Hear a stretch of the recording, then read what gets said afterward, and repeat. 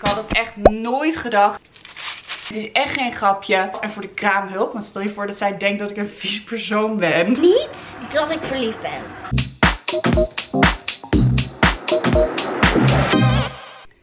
Zo, hallo, goedemorgen. Een zwangerschapsupdate en ik begin maar meteen met hetgene wat ik dus echt een week niet heb gedaan en waar ik heel benieuwd naar ben. Bam. Nou, valt mee. Ik dacht dat het echt veel meer was dan vorige week, maar het is hetzelfde als vorige week. Tadaa! Hallo en goedemorgen allemaal. Leuk dat je weer kijkt naar een nieuwe video. Ik doe weer een zwangerschapsupdate. En dit keer van de aller, aller, allerlaatste. Nou, de aller, aller, de laatste loodjes. Nog precies, want het is vandaag de 11e. Nog precies 10 dagen en dan ben ik uitgerekend. Uh, als je nog niet geabonneerd bent, doe dat dan ook zeker eventjes in de link hieronder. Oké, ja, hoe gaat het? Eigenlijk, zoals je misschien wel merkt aan mij, is het super goed. Ik heb echt vet veel energie. Ik denk dat het komt omdat ik best wel veel thuis aan het rusten ben nu. En dat ben ik totaal niet gewend. Ik heb een soort van ik wil dingen doen, ik wil dingen doen. Ik heb gewoon zin om bijvoorbeeld nu uh, naar de Ikea te gaan. Want er waren nogal dingetjes die ik wilde kopen. Maar ja, ik durf niet zo goed in mijn eentje naar de Ikea te gaan. Want ik ben heel erg bang. Dat hebben jullie misschien vorige week ook al gezien in mijn vlogs. Dat het gewoon heel erg snel gaat. Omdat het bij Jola ook heel erg snel is gegaan. En toen was het ook uh, de start van mijn bevalling was dat de vliezen braken. En dat wil je gewoon niet als je in een winkel staat ergens. Maar ja goed, je kan daar natuurlijk niet continu rekening mee houden. Want je moet natuurlijk ook nog boodschappen doen en alles. Wat zijn nou eigenlijk de dingen van de laatste loodjes die echt het heftigste zijn? Of het lastigste? Of juist het leukste? Want de leuke dingen moeten we het natuurlijk ook over hebben. Ik ervaar in ieder geval in deze zwangerschap heel veel dingen ook als heel leuk. En daarom uh, vind ik het ook jammer als bijvoorbeeld morgenochtend de bevalling al zou beginnen.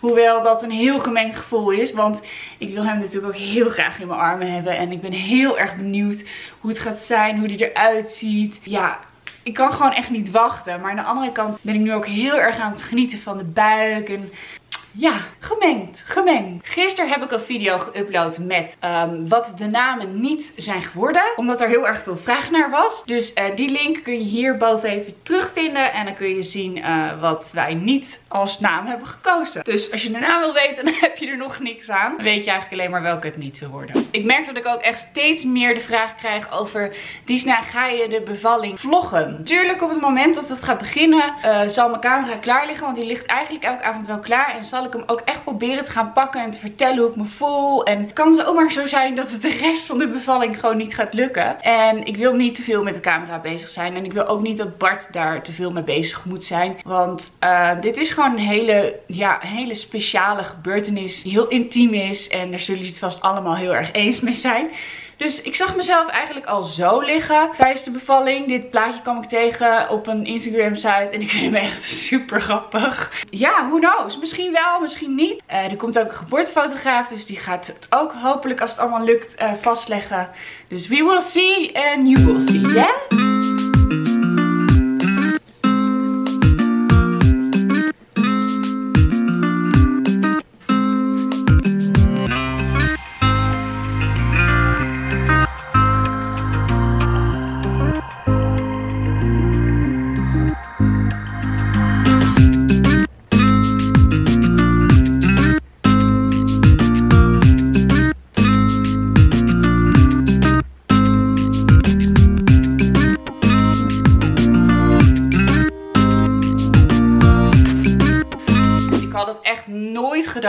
En het is echt geen grapje.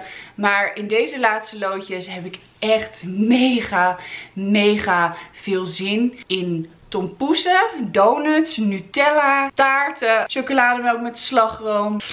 Ik had de hele zwangerschap al best wel dat ik eigenlijk me nooit echt helemaal vol voelde. En best wel veel at. Maar die laatste maand nu, dat is echt niet normaal. Ik kan het ook echt niet in een vlog verwerken wat ik allemaal eet. Want het is gewoon, het gaat gewoon de hele dag door. En dan hebben jullie echt een vlog serieus van 40 minuten over alleen maar wat ik eet als zwangere. Hoe Bart is in deze laatste periode um, van de laatste loodjes is ook wel heel erg grappig. We lagen laatst in bed en toen was het ineens... Oh, wat moet ik eigenlijk doen? Want ik had een beetje krampen. En hoe moet ik eigenlijk... Uh, ik ga mijn kleren klaarleggen. Dus hij ging zijn kleren klaarleggen. Ik zeg, heb je dat formulier nou wel doorgenomen? Welk formulier? Het formulier hangt hier achter mij. Maak daar even een foto van en neem het even goed door. Dus dat heeft hij gedaan. Brave Bart. En hij heeft ook uh, de kit besteld voor het afnemen van de stamcellen. En dus hij is er steeds meer mee bezig, ook in de laatste slootjes. Bart is altijd heel erg van uh, alles op het allerlaatste moment. Dus in dit geval ook. Maar het gebeurt uiteindelijk dan toch wel. Dus yeah Bart, you can do it papa. ik denk stiekem ergens hierachter, denk ik ook wel heel vaak, uh, dat zinnetje wat elke vrouw denkt. Ja, het moet er toch uit. Ik, ik zou gewoon wel echt liegen als ik zeg dat ik me helemaal niet druk om maak. Maar aan de andere kant, ik kan het ook wel gewoon loslaten, denk ik. Toch? ja.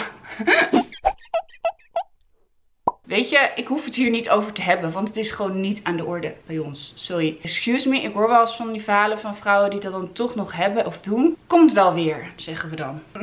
Komt het wel weer? Who knows?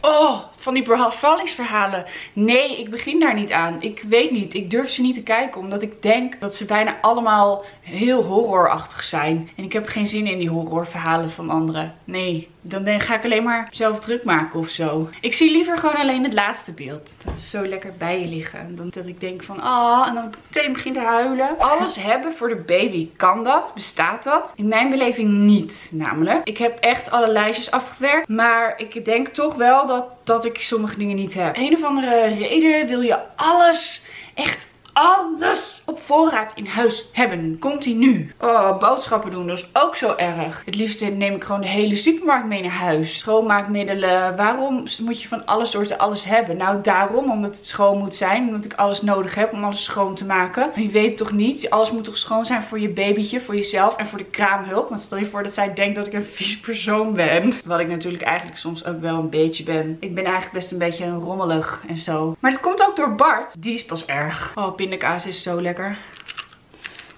Zo, dat is beter. Haagslag op pindakaas. Aankleden in de ochtend. Dat is trouwens ook een dingetje. Die sokken. Oh, ik moet elke keer ergens op gaan zitten en dan... Helemaal uitgeput als ik eenmaal mijn sokken en mijn broek aan heb. Deze broek zit trouwens ook wel heel erg strak nu. Maar ik ga er geen andere meer kopen. Want ja, over 10 dagen ben ik al uitgerekend. Momentje hoor, ik ben zo terug. Ik moet even plassen. Oh, dat plassen. Ik ben zo super enthousiast over mijn YouTube kanaal en over dit allemaal delen met jullie. Ik vind het gewoon echt mega leuk om jullie te kunnen meenemen in mijn hele verhaal. In de frustraties, maar ook in de leuke positieve dingen van moeder zijn. En hoe ik mijn dingetjes probeer op te lossen. Maar ook hoe ik tips aan jullie vraag en jullie die weer aan mij geven. Wat waren jullie vervelendste of wat waren jullie leukste dingen in de laatste loodjes van de zwangerschap? Laat het me weten onder in deze video. Heb het even over jouw laatste loodjes. Ik vind het echt super leuk om dat te lezen van andere moeders. Ik zal er zeker op reageren ook, tuurlijk.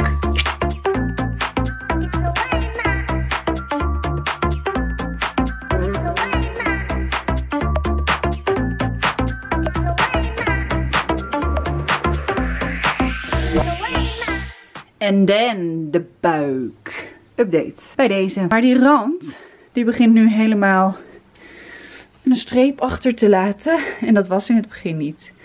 Dus daaraan uh, zie ik dat er echt nog steeds een groeispurt in mijn buik zit. Nu ik hier zo sta, denk ik ineens, oh ja, we hebben trouwens de wieltjes onder het bedje gezet. Dit is het bedje wat we hebben van Child Home. En die staat nu op wieltjes, dus die kan ik dan straks zo naast het bed rollen. Nou, ideaal. En dat kan eventueel ook nog naar beneden. En daar staat de tas klaar met het pakket voor de stamcellen. Yeah. Pretpakket.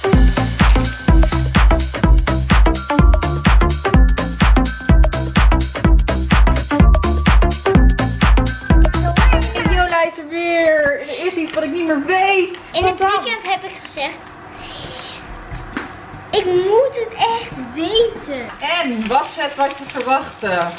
Nee. nou, niet dat ik verliefd ben. Maar ik mag hem wel. Lief.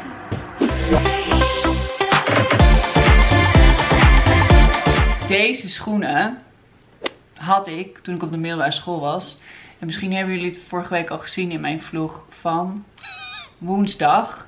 Dat ik dus uh, een meisje tegenkwam met die schoenen. En ik weet gewoon nog als de dag van gisteren dat ik die schoenen kocht. En dat is dus denk ik echt wel 15 jaar, nee misschien wel meer dan 15 jaar geleden.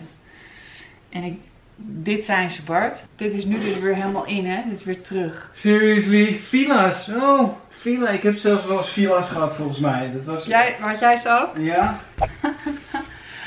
Ze zijn echt zo cool. Ze zijn 115 euro. Ze zijn echt heel cool. Doen of niet doen? Wat vinden jullie? En dan heb je ook nog... Oh, zwart lak heb je ook nog. Geniaal. Maar die roze zijn ook heel vet. Ik kan niet kiezen.